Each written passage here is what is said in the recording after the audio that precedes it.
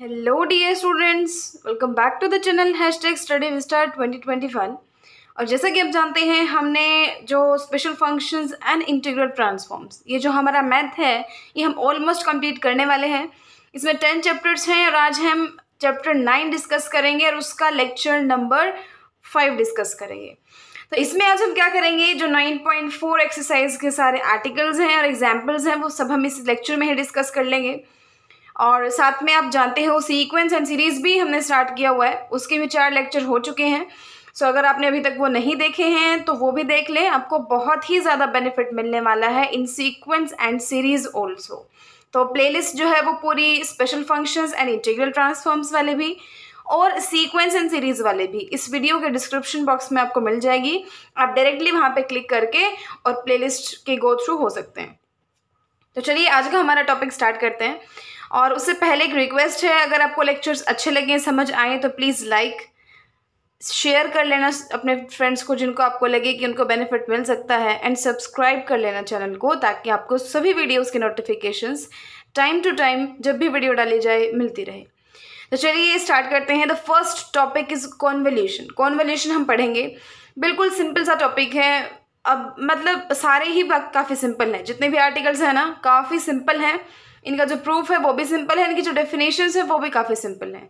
तो first is convolution तो देखिए कॉन्वोल्यूशन का मतलब क्या है? सबसे पहले इसने ये बताया कि किन्हीं दो फ़ंक्शंस का हम कॉन्वोल्यूशन अगर निकालते हैं ना, उसको डिनोट करते हैं हम उनके बीच में ये स्टार लगा के। तो कहीं आपको एफ़ स्टार जी दिखे तो इसका मतलब ये फ़ंक्शन एफ़ ऑफ़ एक्स और फ़ंक्शन जी ऑफ़ एक्स का क्या है? कॉन्वोल्यूशन ठीक है? चलिए, ये तो हम नोटेशन देख ली। उसके बाद ये होता किसके इक्वल है? डेफिनेशन से किसके इक्वल आएगा? Integration minus infinity to infinity F of U G of X minus U D U convolution theorem हमने पहले भी की थी एंड आई होप आपको समझ आ रहा है। कुछ कुछ उस जैसे ही है, थोड़ा सा डिफरेंस तो है ही, देखो। माइनस इन्फिनिटी से infinity F of U G of X minus U D U ये क्या होता है? कॉन्वल्यूशन की डेफिनेशन होती है। तो चलिए तो एक चीज़ और है कि जो एफ़ स्टार जी यानी कि एफ़ कॉन्वल्यूशन जी लिख लो आप, या जी कॉन्वल्यूशन एफ़ लिख लो, दोनों ही चीज़ें सेम हैं। आगे इस चीज़ का प्रूफ है कि दोनों चीज़ सेम कैसे हैं। डेफिनेशन सिर्फ़ आपको यहाँ तक है। एक बार और देख लेते हैं ताकि आपको याद हो जाए। F star G means convolution of the function F of X and G of X और ये होता किस चीज़ के इक्वल है? ये होता है हमारा एफ़ ऑफ़ यू और G of X minus U के इक्वल होता है। तो अब ये चीज़ प्रूव करने के लिए कि F star G is equal to G star F इस चीज़ को कैसे प्रूव करोगे आप? सबसे पहले देखो, वैसे भी हमें पता है कि अगर हमें ये चीज़ प्रूव करनी है ना तो हमें कोई एक चीज़ तो लेके चलनी पड़ेगी। या तो आप लेफ़्ट हैंड साइड लेके चल सकते हो, या आप राइट हैंड साइड लेके चल सकते हो। लेफ़्ट हैंड साइड अगर हम लेके चलते हैं तो लेफ़्ट हैंड साइड मैंने लिख ली। अब इसकी वो लगा दो, जो इसकी डेफिनेशन है, क्या हो जाएगी? माइनस इन्फिनिटी से infinity F of U G of X minus U D U ये तो प्रॉपर डेफिनेशन है। ठीक है? सेकेंड स्टेप में फिर आप क्या करोगे? एक्स माइनस यू जहाँ जहाँ एक्स माइनस यू है, वहाँ पुट कर दोगे वी तो यहाँ से डी यू किसके बराबर आ जाएगा? माइनस डी वी के। यानी कि इन शॉर्ट अगर आप कहना चाहो तो जहाँ जहाँ यू है ना यू को उठा के हमने साइड में रखना है, और उसकी जगह एक नया इंट्रोड्यूस करवाना है वेरिएबल विच इज़ वी तो देख लो u की जगह आप क्या पुट करोगे? जो वैल्यू आई यहाँ से क्या है u की value x minus V X minus U की वैल्यू क्या है? V. तो F of X minus U बन गया जी ऑफ़ वी बन गया. डी यू की जगह हम क्या लिख सकते हैं? माइनस डी वी लिख सकते हैं. अब बात आती है लिमिट की. लिमिट देखो, जब u माइनस इन्फिनिटी है तो v प्लस का इन्फिनिटी है. नेगेटिव साइन है ना ये? तो जब ये पॉजिटिव इन्फिनिटी है तो ये नेगेटिव इन्फिनिटी है, जब ये नेगेटिव इन्फिनिटी है तो ये पॉजिटिव इन्फिनिटी है। तो इस टाइप से इसने लिमिट को चेंज कर लिया तो इस चीज़ के इक्वल आ गया। अब आगे देखिए। अब इसने क्या किया? इस फ़ंक्शन को लिख लिया पहले। जो बाद वाला फ़ंक्शन था ना जी, उसको लिख लिया इसने पहले। माइनस इन्फिनिटी से इन्फिनिटी कर दिया। नेगेटिव साइन गया उससे। तो G of V F of X minus U D V तो क्या आपको ये नहीं लगता ये जी कॉन्वोल्यूशन एफ़ है? प्रॉपर डेफिनेशन ही तो है। तो ये क्या है? कॉन्वोल्यूशन किसका होता है? जो पहले फ़ंक्शन है वो कॉन्वोल्यूशन सेकेंड वाला जो फ़ंक्शन है वो। तो जी कॉन्वोल्यूशन एफ़ एक्स तो इससे क्या पता चला कि एफ़ कॉन्वोल्यूशन जी किस चीज़ के इक्वल होता है? जी कॉन्वोल्यूशन एफ़ के। नेक्स्ट देखते हैं। वो तो कॉन्वोल्यूशन की डेफिनेशन थी और सेकेंड चीज़, इस चीज़ का प्रूफ था कि F convolution G is equal to G convolution F इसमें क्या है? कॉन्वोल्यूशन थ्योरम है किसके लिए? फोरियर ट्रांसफॉर्म के लिए। तो देखिए, ये बिल्कुल सिंपल है। इसने सिर्फ़ ये बोला है कि दो फ़ंक्शंस के कॉन्वोल्यूशन का अगर आप फोरियर ट्रांसफॉर्म निकालते हैं, दो फ़ंक्शन के कॉन्वोल्यूशन का अगर आप फोरियर ट्रांसफॉर्म निकालते हैं तो that is equal to multiplication of their corresponding Fourier transforms यानी कि इनके मल्टी इनके कॉन्वोल्यूशन के ऊपर फोरियर लगा लो। तो इसको कैसे खोल सकते हो? इसका फोरियर इनटू इसका फोर ईयर सिंपल ठीक है? इनके अंदर कॉन्वोल्यूशन है, लेकिन इसको ओपन कैसे कर सकते हो आप? फंक Fourier transform of F of X into Fourier transform of G of X ऐसे लिख सकते हो। अब फटाफट से चलिए इसका प्रूफ देख लेते हैं। प्रूफ तो सारे बिल्कुल सिंपल ही होते हैं। आपको फोर ईयर इस चीज़ का निकालना है। तो आप पहले क्या करेंगे? डेफिनेशन यूज़ करेंगे ना। माइनस, अब डेफिनेशंस वगैरह आप जानते हो लेक्चर नंबर वन के अंदर हमने डिस्कस कर लिए हैं, इस चैप्टर नंबर नाइन के लेक्चर नंबर वन में। तो प्लेलिस्ट में सारे लेक्चर अवेलेबल हैं, आप देख सकते हैं, अगर आपने नहीं देखा है तो। और वहाँ पे हमने इनको सिर्फ़ देखा ही नहीं था, हमने याद भी किया था तो आपको काफ़ी बेनिफिट मिलेगा अगर आप वहाँ जाके इन फॉर्मूलाज को लर्न करके आएँगे तो। आगे डिफ़िकल्टी कम आएगी आपको फिर। तो अब फॉर्मूला आपको याद है तो फॉर्मूला माइनस इन्फिनिटी से इन्फिनिटी ई की power minus iota S X और यहाँ क्या आता है? वो फ़ंक्शन जिसका हम क्या निकाल रहे हैं? फोरियर ट्रांसफॉर्म डी एक्स अब कॉन्वोल्यूशन की डेफिनेशन से, सबसे पहला आपको क्या काम करना है? कॉन्वोल्यूशन की डेफिनेशन से इसका कॉन्वोल्यूशन की डेफिनेशन लगा दो। तो F of X convolution G of X आपको पता है क्या होता है? Minus infinity to infinity F of U G of X minus U D U और डी एक्स इसका पहले था ही था। अब अब हमने क्या किया? अब ध्यान देखना। ऑर्डर ऑफ़ इंटीग्रेशन चेंज कर दिया। मतलब पहले अंदर क्या था? डी यू के रिस्पेक्ट में इंटीग्रेशन था और माइनस इन्फिनिटी से इन्फिनिटी था। अब मैं यू को तो बाद में करूँगी, पहले एक्स करूँगी। एक्स के रिस्पेक्ट में इंटीग्रेशन करूँगी। तो क्या करेंगे हम? लिमिट को चेंज कर लेंगे। लिमिट तो देखो सेम है, इसलिए पता नहीं चलेगा हमें। तो माइनस इन्फिनिटी से इन्फिनिटी और यहाँ पहले यू था, लेकिन हमने पहले क्या कर दिया? डी एक्स कर दिया और बाद में क्या कर दिया? डी यू ये तो सिंपल सा है कि आप ऑर्डर ऑफ़ इंटीग्रेशन चेंज कर सकते हो। अगर पहले आप डी यू के रिस्पेक्ट में नहीं करना चाहते तो डी यू को बाद में लिख लो। वही हमने किया। अब ब्रैकेट में ये चीज़ लिखने का क्या मतलब है? कि हम x के रिस्पेक्ट में करेंगे ना तो सिर्फ़ उन्हीं टर्म्स का इंटीग्रेशन होगा ना जिनमें x है। अब एफ़ ऑफ़ यू में तो x है ही नहीं। तो इसलिए इसने अलग कर लिया। इस इस वाले इंटीग्रेशन से कर दिया बाहर। इसके बाहर मत कर देना। इससे बाहर इसने किया, क्योंकि इस इंटीग्रेशन के लिए एफ़ ऑफ़ यू क्या है? एक कॉन्स्टेंट बस अब आगे हमें क्या करना है इस चीज़ को? सोल्व करना है, कुछ ना कुछ करके हमें ये चीज़ प्रूव करनी है। यानी कि एक जगह आपको मिल जाए फोर ईयर ट्रांसफॉर्म एक्स का एफ़ ऑफ़ एक्स का, और दूसरी जगह आपको मल्टीप्लीकेशन में मिल जाए Fourier transform G of X का। तो चलिए फ़र्स्ट थिंग यहाँ तक हम आ गए थे ना? यहाँ तक आ गए थे, एक सेकेंड ये हमने कर लिया था, यहाँ तक हम आ गए थे। उसके बाद हम क्या करेंगे? इसमें ई e की पावर माइनस एस यू और ई e की पावर प्लस का I S U iota S U इससे मल्टीप्लाई कर देंगे। ई की power minus iota S U से और ई की power plus iota S U से। मल्टीप्लाई कर दिया माइनस वाला अलग कर लो प्लस वाले को उधर ले जाओ। तो एक तो पावर पहले थी, एक ई की पावर आईटा एस यू हो गई तो माइनस आईटा एस कॉमन आ गया ना? क्या बचा अंदर? एक्स माइनस यू बाकी सब सेम है। अब अब एफ़ एफ़ यू तो बाहर था ही था, इसको भी बाहर निकाल लो, क्योंकि इसका कोई काम नहीं रहा अभी। बाकी जो अंदर है, वो अंदर बचा है। अब, इसको जस्ट सोल्व करने के लिए ना, आप क्या करोगे? एक्स माइनस यू को क्या पुट कर दोगे? टी अब जैसे ही आपने एक्स माइनस यू को टी पुट किया डी एक्स किस चीज़ के इक्वल आ गया? डी टी के। किसके इक्वल आ गया? डी टी के। दिस इम्प्लाइज दैट ये चीज़ तो थी ही थी। अब यहाँ चेंज कर देंगे हम। एक्स माइनस यू है, वहाँ हमने टी कर दिया। यहाँ एक्स माइनस यू था, यहाँ पे मैंने टी कर दिया। यहाँ एक्स था तो उसकी जगह हमने टी कर दिया। यू पहले था ही था। उसके बाद after that this is the definition of Fourier transform of the function G of T यानी कि जी ऑफ़ टी के फ़ंक्शन सॉरी फोरियर ट्रांसफॉर्म की डेफिनेशन ही तो है ना ये? तो बाकी सब मैंने रखा सेम इसकी जगह मैंने क्या कर दिया? Fourier transform of the function G of T अब, इसको रख लो अलग. अभी जो बचा है, ये भी तो क्या है? डेफिनेशन ही तो है. किसके? एफ़ ऑफ़ एक्स के फोरियर ट्रांसफॉर्म की. तो this is equal to Fourier transform of F of X into Fourier transform of G of X तो इस टाइप से हमने प्रूव कर दिया। कि अगर आप कॉन्वोल्यूशन पे फोरियर लगाओगे ना तो उसका आंसर कैसे निकाल सकते हो आप? Fourier transform of F of X into Fourier transform of G of X next देखिए। ये देखो, ये है फोरियर ट्रांसफॉर्म किसी डेरिवेटिव का फ़र्स्ट डेरिवेटिव का, और ये है एनथ डेरिवेटिव का। तो फ़र्स्ट डेरिवेटिव तो आपको पता है, बिल्कुल एक बार ये देख लो किस चीज़ के इक्वल आएगा। एफ़ ऑफ़ एक्स का अगर डेरिवेटिव है एफ़ एस बार तो एफ़ डैश एक्स का डेरिवेटिव क्या sorry sorry Fourier transform क्या होगा? Iota S and Fourier transform of F of X यानी कि सिर्फ़ इसकी मल्टीप्लाई डेरिवेटिव करते ही सिर्फ़ आइटा एस और मल्टीप्लाई हो जाएगा, बाकी सेम है। क्या मल्टीप्लाई हो जाएगा? आइटा एस अभी कैसे होगा, इसके प्रूफ में देखते हैं। अब जब आप निकालने चले Fourier transform F dash X का तो डेफिनेशन लगानी पड़ेगी। माइनस इन्फिनिटी से इन्फिनिटी ई की power minus iota S X F dash X D X हो गया। विच इज़ इक्वल टू अब इसका कर दो बाय पार्ट इंटीग्रेशन इंटीग्रेशन आपने किया तो यहाँ तक तो आप आ जाओगे। आप ध्यान देना एक बात पे। क्योंकि देखो, इसने क्या कहा, जब इन्फिनिटी पुट करोगे ना तो माइनस इन्फिनिटी हो गया।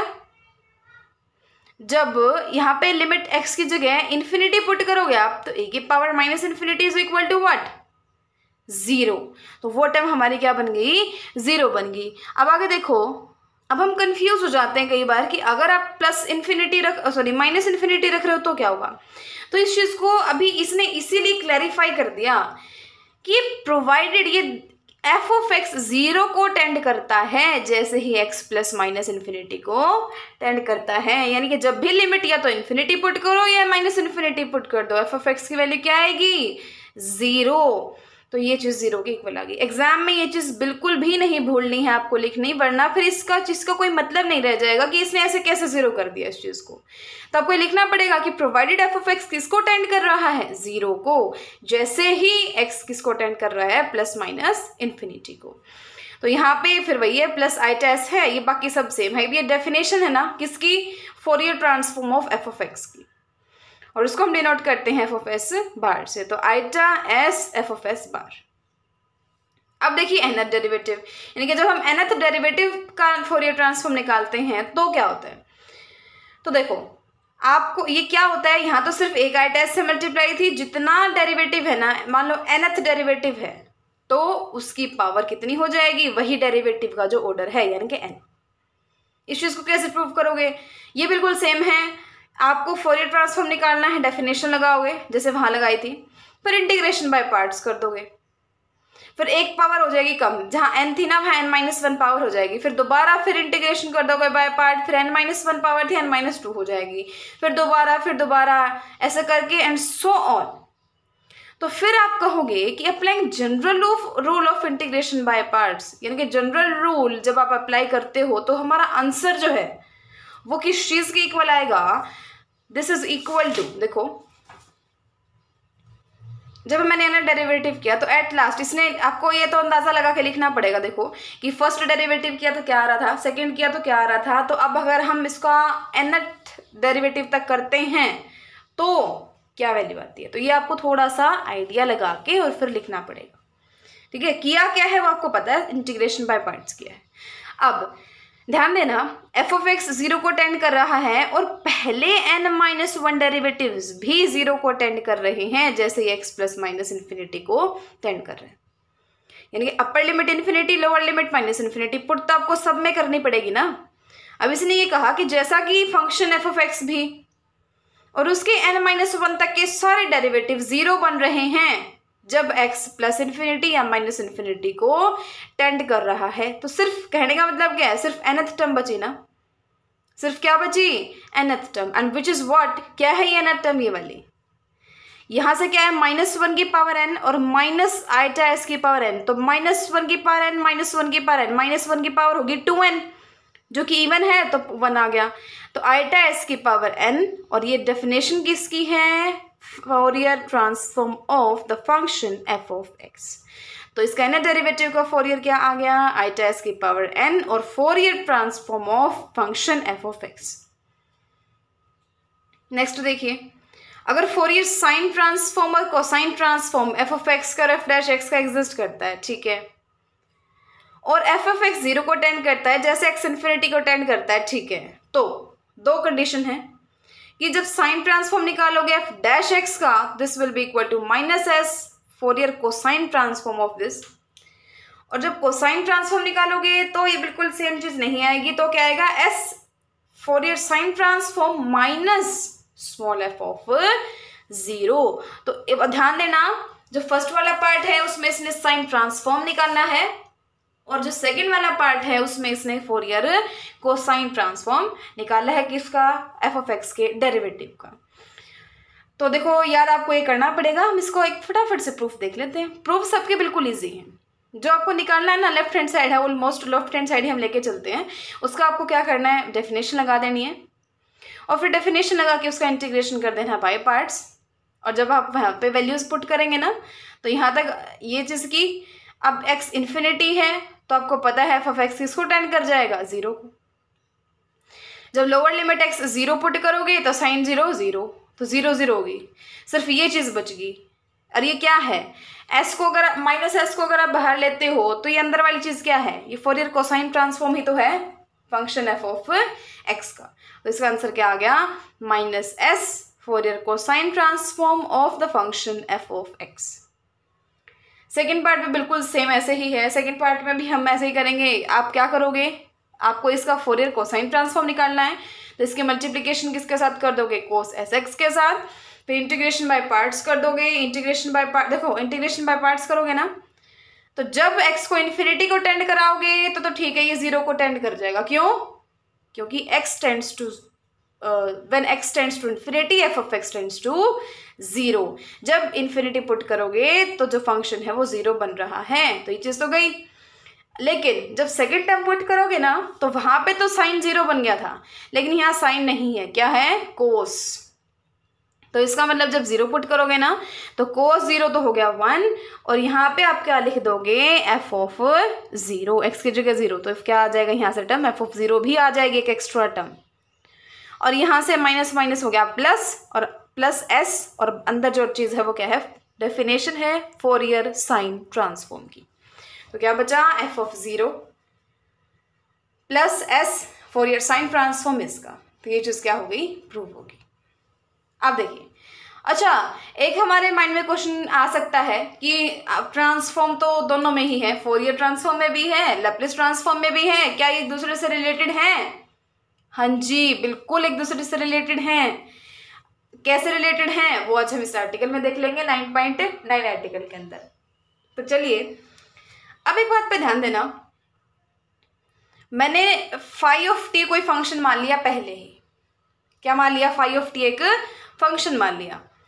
अब उसके बेसिस पे मैंने एफ़ ऑफ़ टी एक दूसरा फ़ंक्शन मान लिया कि which is equal to e की power minus x t phi of t जब टी ग्रेटर देन ज़ीरो है। And this is equal to zero जब टी लेस देन ज़ीरो है। किसके इक्वल है? की power minus x t phi of t जब T greater than zero है। और ज़ीरो के इक्वल है जब टी लेस देन ज़ीरो है। ये हमने मानना है और आपको ये याद करना पड़ेगा। तो आप देखोगे सरप्राइजिंग सरप्राइज़ हो जाओगे देख के कि इसका जो फोरियर आएगा ना, वो इसके लेपलेस के बराबर आएगा। एफ़ ऑफ़ टी का, जो हमने बाद में फ़ंक्शन माना, इसका फोरियर इस फाइव ऑफ़ टी के लेपलेस के इक्वल हो जाएगा। ये काफ़ी इंटरेस्टिंग चीज़ है।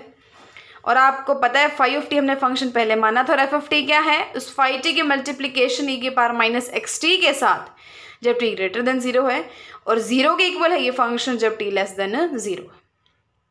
तो यहाँ से यहाँ तक पहुँचा दो। ये तो हमारा ईजी सा काम है, हमारे बाएँ हाथ का खेल है।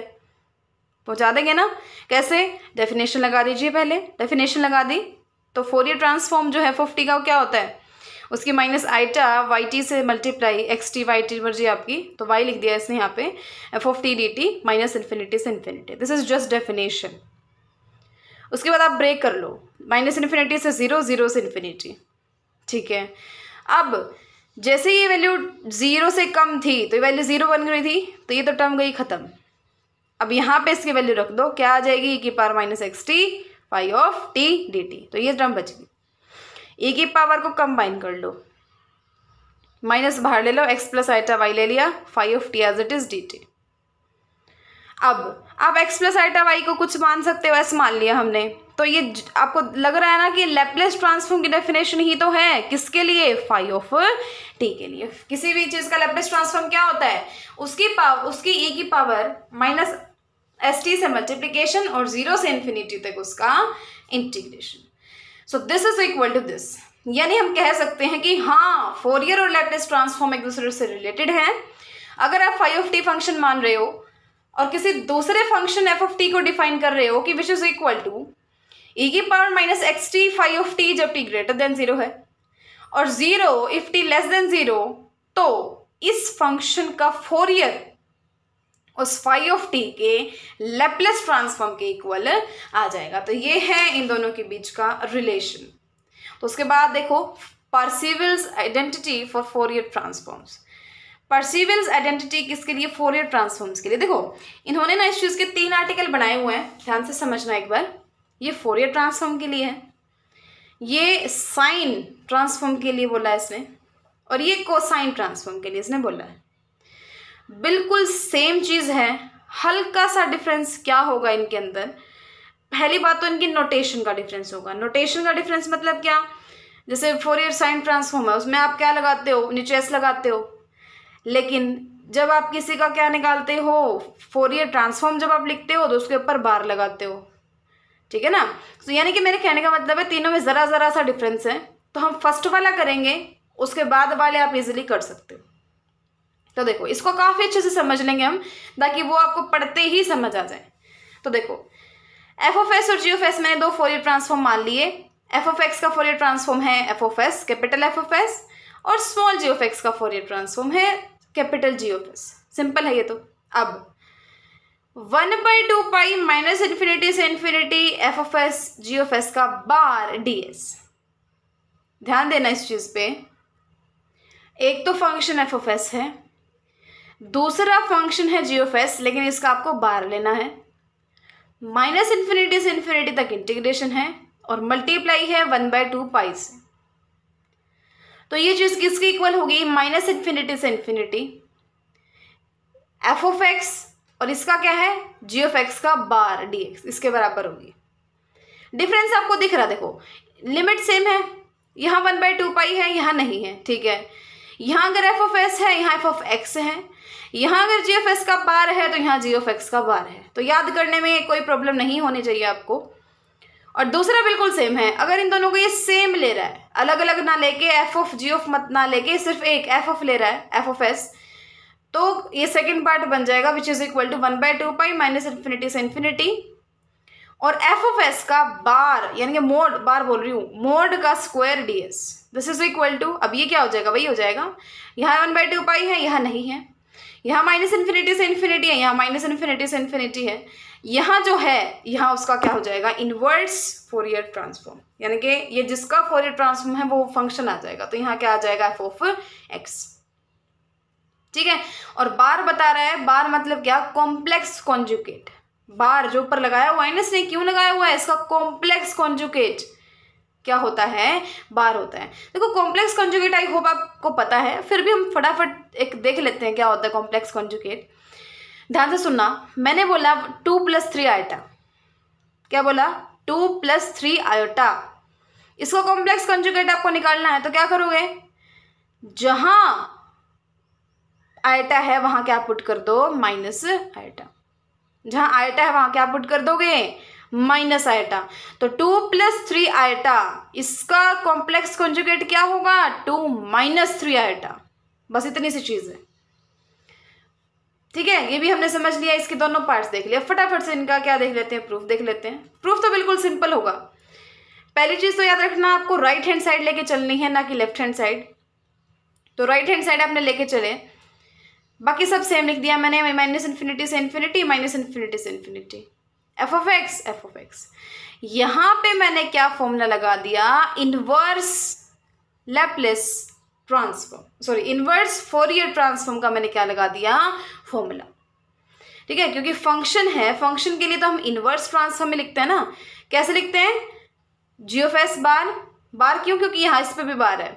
इसकी मल्टीप्लाई किसके साथ हो जाती है? ए की power minus i t s x के साथ। डी एस और माइनस इन्फिनिटी से इन्फिनिटी क्या होता है? इंटीग्रेशन ये जस्ट मैंने डेफिनेशन यूज़ करी है इनवर्स फोरियर ट्रांसफॉर्म की, जिसको हम लेक्चर वन में डिस्कस कर चुके हैं। तो one which is equal to अब ध्यान देना one by two by constant है बाहर ले लिया? ओके और फिर वही बात है, मेरे को पहले डी एस के रिस्पेक्ट में नहीं करना चाहते हम हम पहले डी एक्स के रिस्पेक्ट में करना चाहते हैं। तो इसको आगे कर दो, इसको पीछे कर दो। सिंपल है। तो ये आगे पीछे कर दिया मैंने और ब्रैकेट में सिर्फ़ वो वो चीज़ें ले ली जिसमें एक्स है बस। बाकी सब बाहर। बाकी सब इस ब्रैकेट से बाहर। तो ये जस्ट रीअरेंजिंग है, आप देख लेना इसको, काफ़ी इजी है। वन बाय टू पाई बाहर लिया मैंने जी एफ़ एस यहाँ ले लिया। अब ये एक्स मैंने अंदर क्यों लेना पड़ा मुझे? क्योंकि एक्स के रिस्पेक्ट में इंटीग्रेशन है ना तो एक्स की टर्म तो देखो इंटीग्रेट होगी ही होगी। तो F F X E power minus I taste x D x और बाकी सब बाहर। अब क्या आपको नहीं लगता कि ये क्या है? डेफिनेशन है किसकी? Fourier transform of f of s f of x की फोरियर ट्रांसफॉर्म की डेफिनेशन है तो बाकी सब सेम है, सिर्फ़ इसकी जगह हम क्या लिख देंगे? कैपिटल एफ़ ऑफ़ एस लिख देंगे। ये है हमारा प्रूफ सिमिलरली आप सेकंड के लिए लिख सकते हो। सेकंड के लिए आपको पता है आपको क्या करना है? Putting g of x is equal to f of x मैंने आपको समझाते हुए भी बताया था कि वहाँ पे हम दो अलग अलग लेके चलेंगे। यहाँ पे यहाँ पे तो अलग अलग लेके चल रहे हो, यहाँ पे सिर्फ़ आपको एक लेके चलना है। तो उसके लिए इसने क्या किया? जी ऑफ़ एक्स को एफ़ ऑफ़ एक्स से इक्वल मान लिया। तो इसका मतलब जी ऑफ़ का बार किस चीज़ के बराबर हो जाएगा? एफ़ ऑफ़ एस के बार के ना? तो अब उसमें पुट कर दिया मैंने। तो वहाँ पे जहाँ क्या है? देखो, ये चीज़ आई थी अभी। अब मैंने क्या किया? ध्यान देना। जी ऑफ़ का बार किसके बराबर हो रहा है? एफ़ ऑफ़ एस के बार के। तो जहाँ जी एफ़ एस बार है, वहाँ हम क्या लिख सकते हैं? एफ़ ऑफ़ एस लिख सकते हैं ना? ठीक है। और ये इक्वल किसके था? इसके। लेकिन जी ऑफ़ एक्स को मैंने क्या मानना है? एफ़ ऑफ़ एक्स तो इसको भी मैं लिख सकती हूँ f of x f of x का बार। यानी कि ये दोनों चीज़ें लिखी हैं, लेकिन जहाँ ये था, वहाँ ये लिख दिया। और जहाँ ये था, वहाँ ये लिख दिया। बस।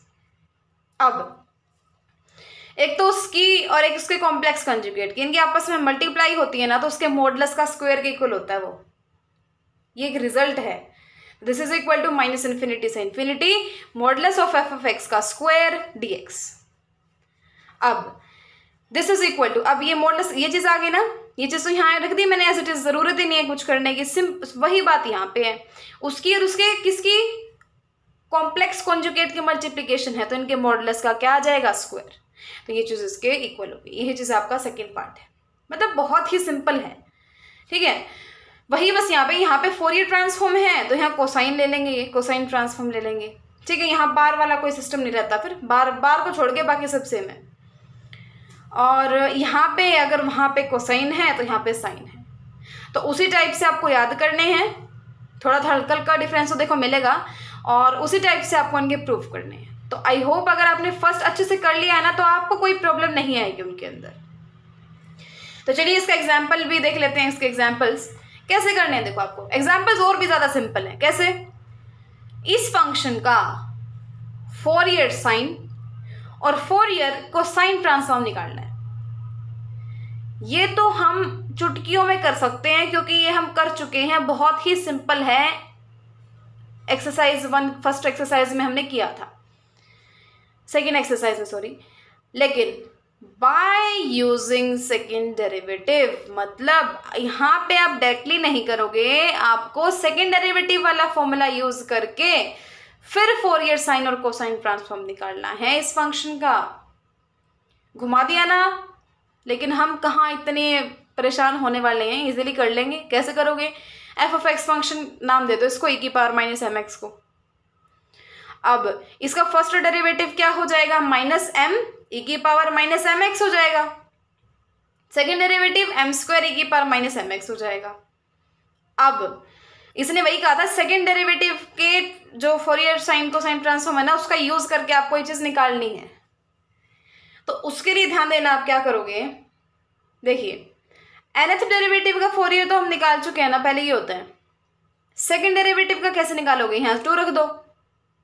ठीक है, वो इसने सोल्व करके और आपके नेक्स्ट यहाँ बताया हुआ है कि जब आप सेकेंड डेरिवेटिव सोल्व करते हो ना, उसका फोर ईयर साइन ट्रांसफॉर्म तो वो इस चीज़ के इक्वल होता है ये हमने थ्योरम में देखा था।